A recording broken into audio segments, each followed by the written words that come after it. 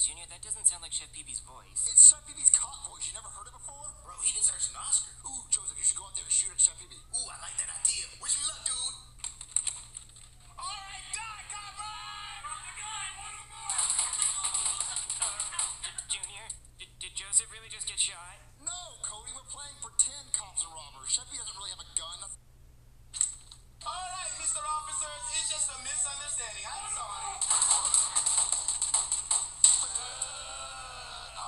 Chef Peepee just died. Guys, what are we gonna do? Well, I'm the hostage, so I'm good. I'm just gonna sit back and eat my free medium french fries I get from McDonald's.